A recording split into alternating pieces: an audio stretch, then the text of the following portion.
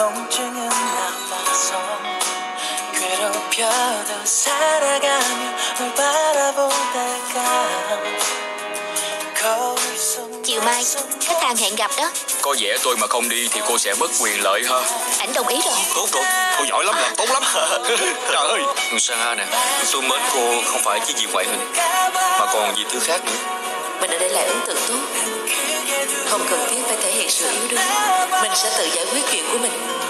Mình làm được. Tôi đang đi sóc chô với sa ngã chắc là tôi không tham gia bữa tiệc được rồi chủ tịch ơi! Cái gì vậy? Sao cô ta lại tới chủ tịch chân mà đuổi theo đi. Dừng lại đi mà. Tôi có chuyện cần nói với chú ta